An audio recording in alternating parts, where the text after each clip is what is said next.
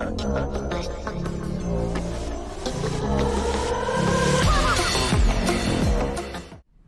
don't need a pandemic for people to take the vaccine. You just need the fear of a pandemic.